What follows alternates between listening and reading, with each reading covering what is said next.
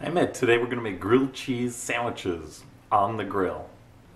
Alright, you only need three things to make uh, grilled cheese sandwiches. You need bread, cheese, and butter. The secret is to use good ingredients and a good technique. So what we're going to do is put our slices of Swiss, actually I can trim them a little bit so that they fit this bread and just put them back in.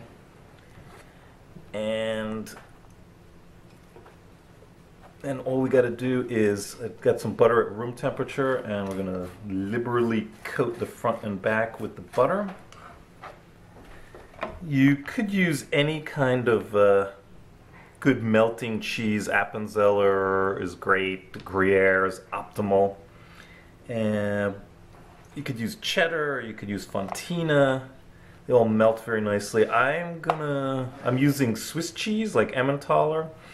I like to use it because it's reasonably priced and this one's gonna get a triple dose. And it, it's easy to find in slices, so it's easy to work with. Um, the other ones you pretty much would have to shred up most of them and uh, and then sprinkle them in the middle before you you know close them up. Okay, so this is our last one, and it's off to the grill.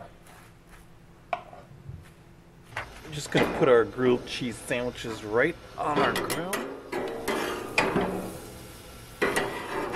Putting them over kind of direct heat, not too high. I don't want to burn them. I just want to uh, get some grill marks on them and melt the cheese. Close the lid, let them go for a couple minutes, and we'll be back. All right, our grilled cheese have been on the grill for about two minutes. See how they look. Perfect. So I want them a little toasted, little grill marks. The cheese is starting to melt. I think we're gonna be really good here in a couple minutes. So another two minutes on the second side, and they should be done. Cheese is melted inside. We got a toasty color going on here.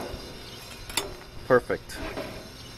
To serve up our grilled cheese, I just take them. I, I like to cut them into quarters so you can eat them.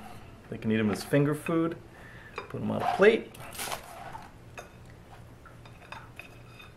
Add some tomato slices. Little sea salt on the tomatoes.